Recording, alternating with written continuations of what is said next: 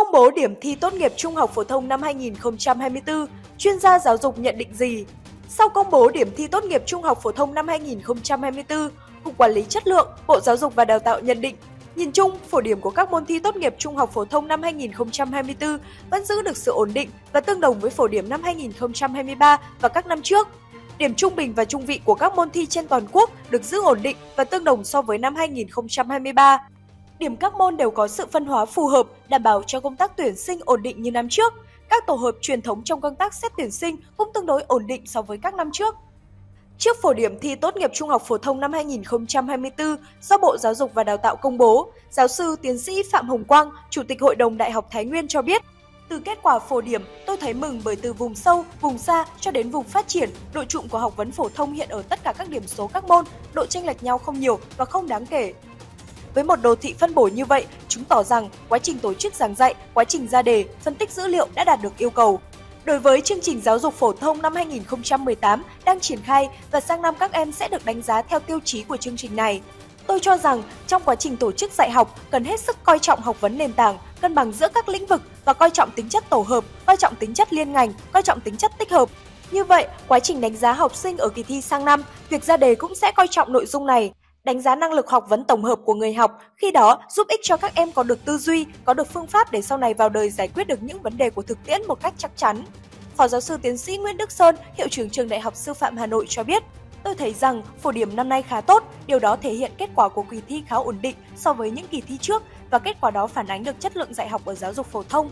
Cụ thể, phổ điểm một số môn thi có sự phân bố rất tốt như môn lịch sử. Ngoài ra, phổ điểm môn tiếng Anh cũng bắt đầu có chuyển biến tích cực hơn so với phổ điểm của các năm trước đây.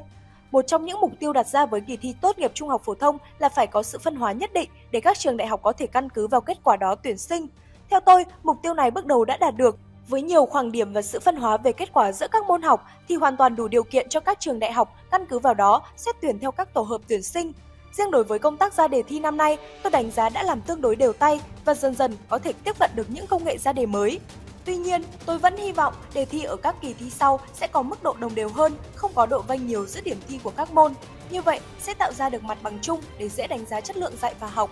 Nhận định về phổ điểm năm nay, giáo sư, tiến sĩ khoa học Nguyễn Đình Đức, Chủ tịch Hội đồng Trường Đại học Công nghệ, Đại học Quốc gia Hà Nội cho rằng, từ đề thi cho đến kết quả đã ổn định so với những năm gần đây. Thông qua kết quả thi các môn, chúng ta thấy được ma trận đề thi cũng như độ khó dễ cơ bản đã giữ ở mức ổn định và tất cả các môn đều có chuyển biến rất tích cực.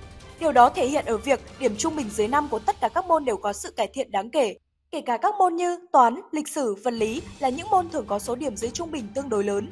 Kết quả này thể hiện sự ổn định, nỗ lực trong học tập, giảng dạy của các em học sinh và thầy cô giáo, tiến bộ rõ rệt hơn so với những năm trước đây. Đây là điểm đáng mừng về chất lượng giáo dục phổ thông của cả nước nói chung, ông Đức nhận định. Cũng theo thầy Đức, với việc phổ điểm như các môn toán, vật lý, đặc biệt là môn hóa học và địa lý, số điểm 10 nhiều hơn so với những năm trước. Do đó, dự báo tổ hợp A00, A01, B00, C00, D01 phổ điểm sẽ tăng. Qua đánh giá phổ điểm thi vẫn thấy điểm khối khoa học xã hội, ví dụ môn ngữ văn, địa lý tỷ lệ điểm giỏi cao, điểm dưới trung bình thấp. Trong khi đó, môn khoa học tự nhiên như toán, vật lý, tỷ lệ điểm giỏi mặc dù đã cải thiện nhưng tỷ lệ điểm dưới trung bình vẫn cao hơn so với các môn khác. Do đó, công tác định hướng thi, xét tuyển vào đại học ở tổ hợp khoa học tự nhiên cần được lưu ý, chú trọng hơn nữa. Lộ diện thủ khoa năm khối thi đại học năm 2024 Sáng ngày 17 tháng 7, Bộ Giáo dục và Đào tạo công bố điểm thi tốt nghiệp trung học phổ thông năm 2024. Qua phân tích dữ liệu, thí sinh có số báo danh 260209XX đến từ Thái Bình trở thành thủ khoa khối A00 với 29,6 điểm. Em đạt 10 điểm môn vật lý và hóa học, 9,6 điểm môn toán, còn lại điểm văn là 8, sinh là 8,75 và tiếng Anh là 9,6. Thủ khoa khối A01 đến từ thành phố Hồ Chí Minh, sổ báo danh là 020384XX. Em này đạt 9,8 điểm toán và tiếng Anh, 10 điểm vật lý. Điểm các môn khác là 8,25 văn, 7,75 hóa và 8,25 sinh. Thủ khoa B00 đến từ Bắc Ninh, số báo danh là 030158XX. Đây là thí sinh tự do, đạt 9,8 điểm môn toán, 9,75 điểm môn sinh và 10 điểm môn hóa. Thí sinh với số báo danh 160002XX đến từ Vĩnh Phúc trở thành thủ khoa khối D01 với 28,75 điểm. Thí sinh này đạt 9 điểm môn toán, 9,75 điểm môn văn và 10 điểm tiếng Anh.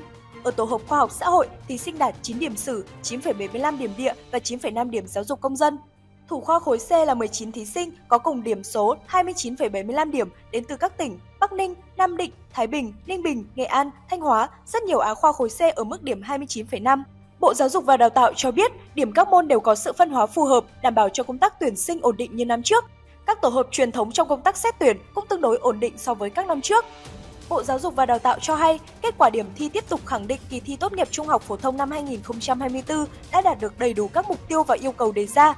Đó là đánh giá kết quả học tập của người học theo mục tiêu giáo dục của chương trình giáo dục phổ thông cấp trung học phổ thông, xét công nhận tốt nghiệp trung học phổ thông và là cơ sở đánh giá chất lượng dạy và học của trường trung học phổ thông và công tác chỉ đạo của các cơ quan quản lý giáo dục, các cơ sở giáo dục đại học, giáo dục nghề nghiệp có thể sử dụng kết quả thi tốt nghiệp trung học phổ thông để tuyển sinh choáng ngợp với biển người Tây Ban Nha ăn mừng chức vô địch Euro năm 2024.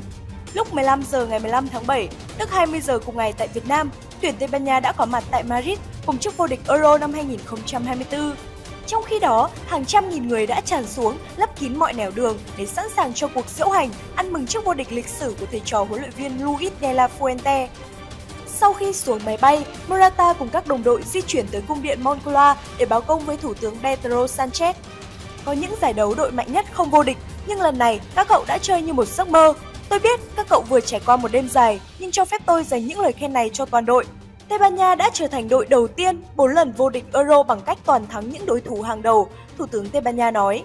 Sau khi báo công, tuyển Tây Ban Nha mới bắt đầu diễu hành đến quảng trường Cibeles. Phía dưới, hàng trăm nghìn người hâm mộ di chuyển theo để ăn mừng cùng toàn đội. Thậm chí, trong lúc cao hứng, thần đồng 17 tuổi Lamine Yamal đã cầm mic hát giao lưu với các cổ động viên. Buổi diễu hành kết thúc vào lúc gần nửa đêm với bài We Are The Champions của ban nhạc Queen.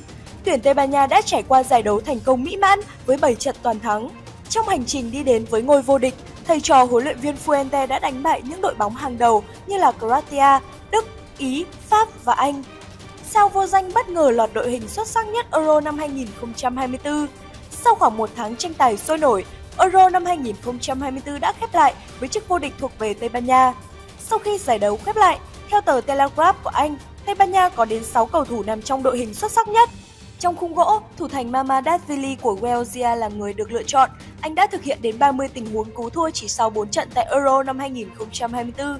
Hậu vệ Jules Koundé cũng lọt đội hình xuất sắc nhất Euro năm 2024 với 41 lần đoạt lại bóng và biến Pháp thành đội nhận ít bàn thua nhất giải, 3 bàn. Một cầu thủ khác của Pháp là William Saliba cũng góp mặt trong đội hình xuất sắc nhất giải.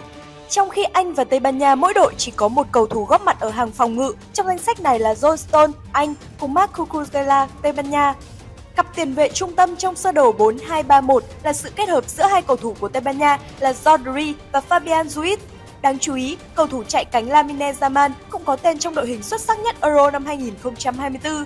Dù mới 17 tuổi, nhưng Yamal đã có những màn trình diễn bùng nổ, qua đó giúp bỏ tót bước lên ngôi vô địch. Một tài năng trẻ khác của đội bóng xứ đấu bò là Nico William cũng góp mặt trong đội hình tiêu biểu của giải.